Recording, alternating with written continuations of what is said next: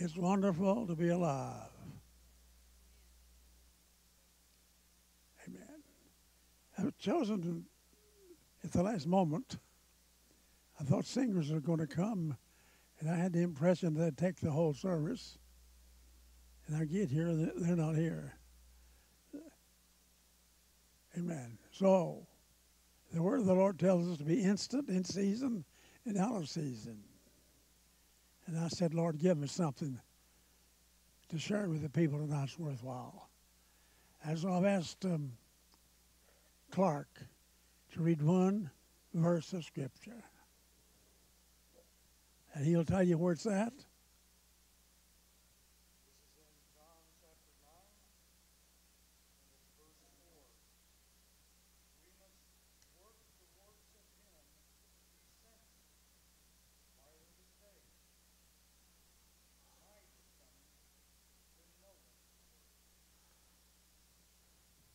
Thank you.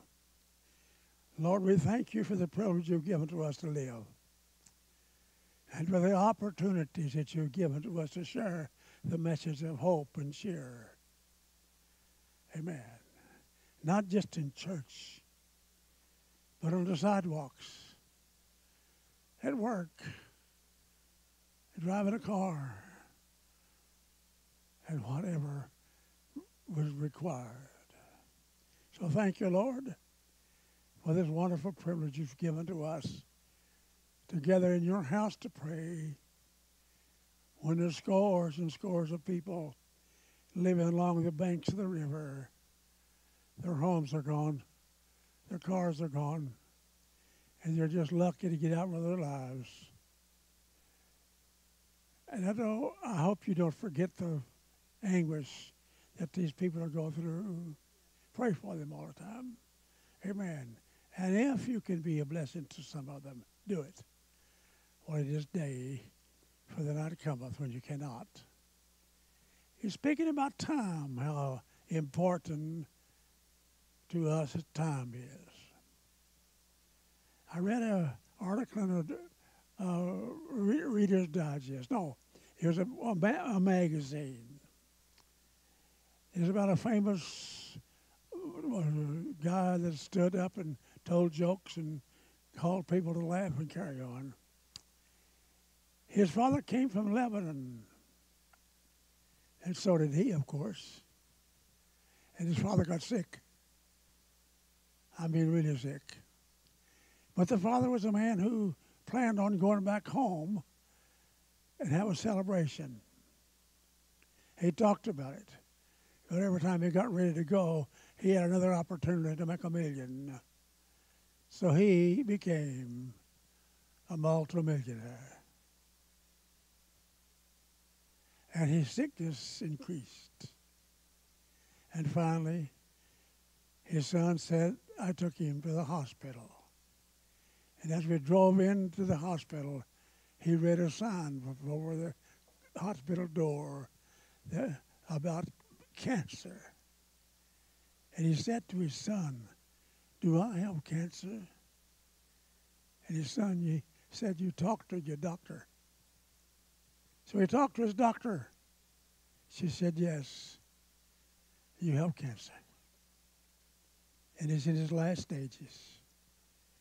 We've asked you to come. We can help you through this crucial time in your life and be a blessing of some kind. Then he turned over and looked at his family and all of his friends that are gathered in.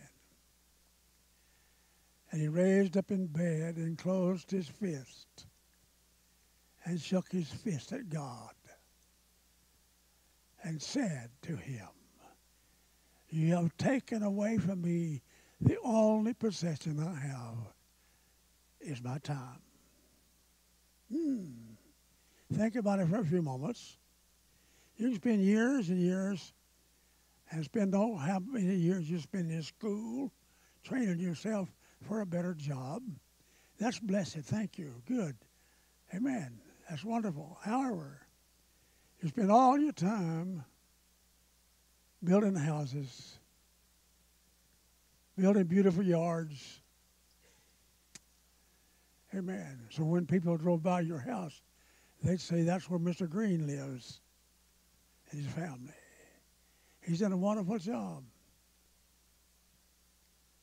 But as time goes on, Mr. Green gets older and older and older. And then he winds up in a place that he despises.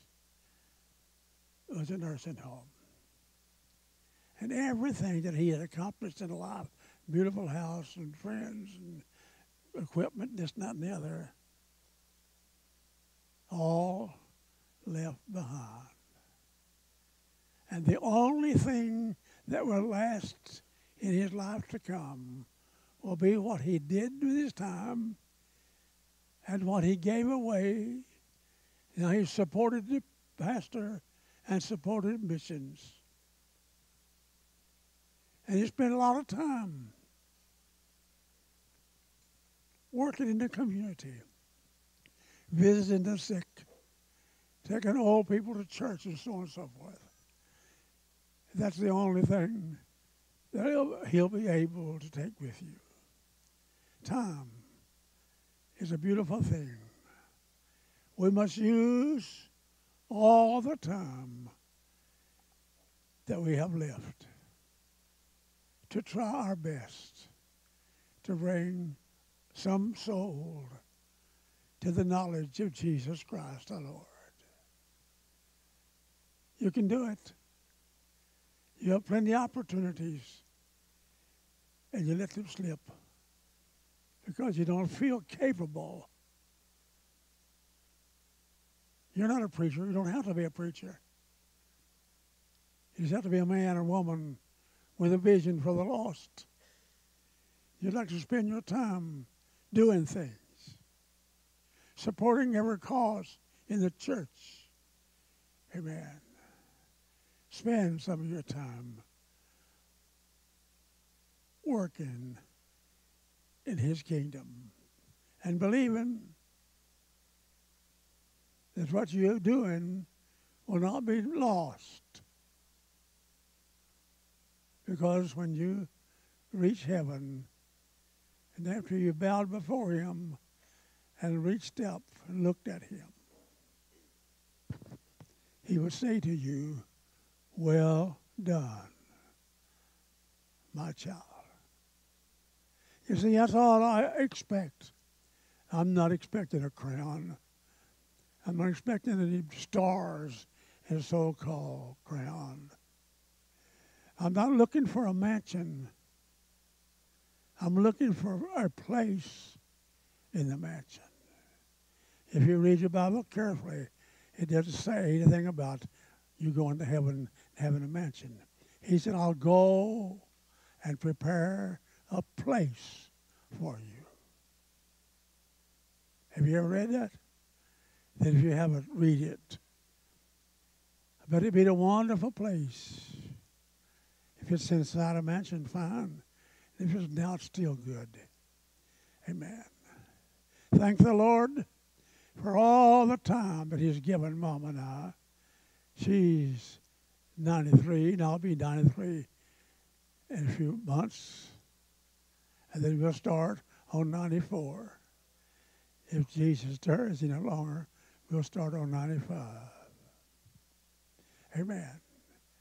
But my time is not wasted and, and, and, and uh, down on my knees and brokenhearted because I'm not on the road anymore. No because I've used the time as God has given to me to do other things. Tomorrow, we're going to send $6,000 to finish a church in Burkina Faso that cost the church itself $30,000, and we're going to give them six to finish, to finish the touches on it. And then Barema has told us he needs 35 churches. The Lord willing, we're going to send him uh, five churches in the near future. He'll be coming. We'll wait until he comes, and then we'll see what we can do. So you see, even though you may be handicapped in many ways, you still have time. You still have a voice. You still have a prayer time. And if you're, if you're blind, you'll find some way to know about the Lord. Amen. So I challenge you tonight to devote your attention to the time that you have left. And if you come, I said, to the close, when you're not able to drive anymore and not able to read anymore, you still have the ability to touch people's lives with how you live in the darkness of the time. Woo! Hallelujah. I think uh, sometimes I get down in, in, in, the dumps, you know. I get to think about living in nursing home. That's one of the things I never did want to do, but here I am. I can accept that and do something about it or sit around and gripe. And so I've decided to do something. I still have the channels open with television and uh, and, and uh, electric stuff to pr- produce uh, some things to create interest in building a tabernacle. Amen. I think that'll be the greatest experience in a lifetime to give money to build a tabernacle. Then, at the close of life, go into heaven and be shown the tabernacle that you built full of people. Well,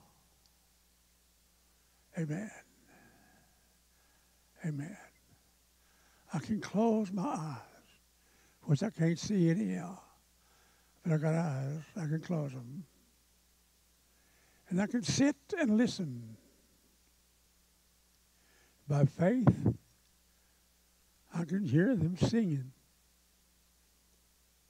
As you walk towards the church, those singers have been there ever since sunup.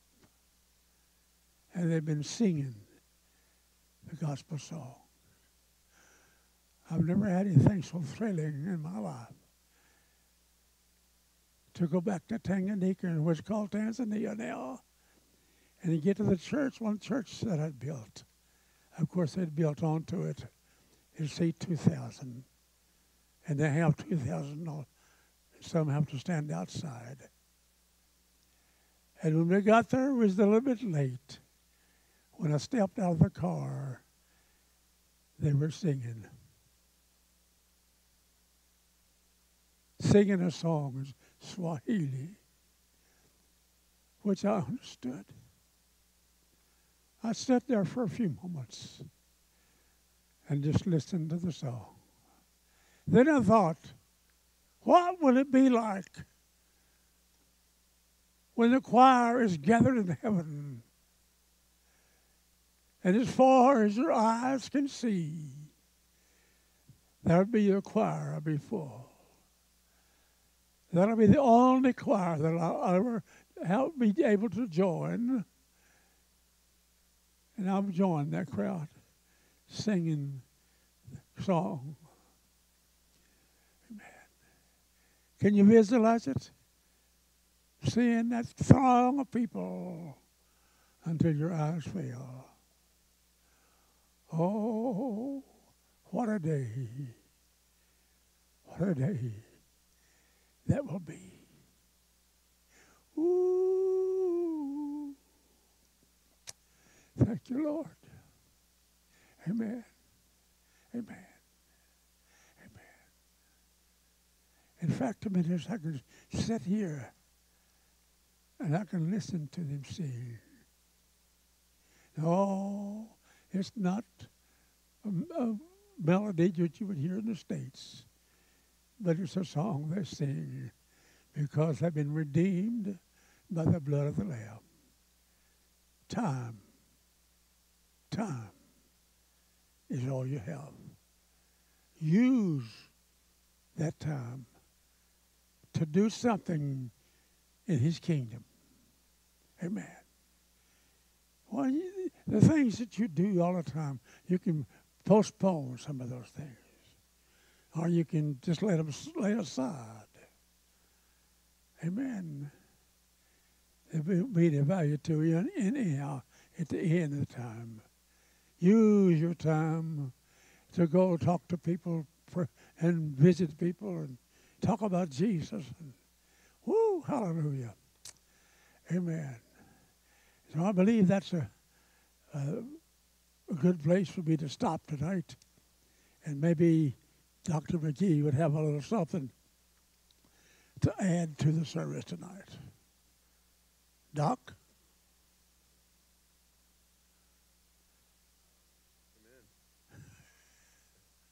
Did I catch you unawares? Yeah. Amen. So, yeah, I think we need to be ready. I think we need to be doing lots of things. You know, we've had a vision here to build this place, to see not only that arena full of people, but this room here full of people. And we also have a vision to build churches in Africa. That's always been the third part of the vision. That we'd have an arena that would pay for itself, a church, and the excess money we'd build churches in Africa. He mentioned Pastor Barema. Barema's supposed to be here in a couple of weeks, I think. I, you know, we get emails occasionally, and sometimes things change, but he's supposed to be coming. He's been here before, and he'll tell you about the churches. He's when we when the missionary had to leave Niger, he was left with about 30 churches to oversee. And he's done that. The interval, he's built 35 more. Not built, planted. And each of those congregations might have 30 people, might have 200 people. But they're meeting under a tree somewhere. They need a building. And the amazing thing about Niger is when you build a church, we build it with a peaked roof, just like you'd think looks kind of like a pole barn, only with concrete sides. But everything else in that country has a round top. A Muslim country, and the structures have a Muslim architecture. And the churches stand out like a sore thumb. Amen. And people see them and they go, well, yeah, praise the Lord. say, what are those things? That's a church. They talk about Jesus there. And then years ago, Al Qaeda came through Niger, and they got everybody stirred up, and they burned a bunch of churches all over Niger, the ones made out of wood. But our churches are made out of steel and concrete, and they tried their best to burn our churches, and all they did was blacken the floor with the fire.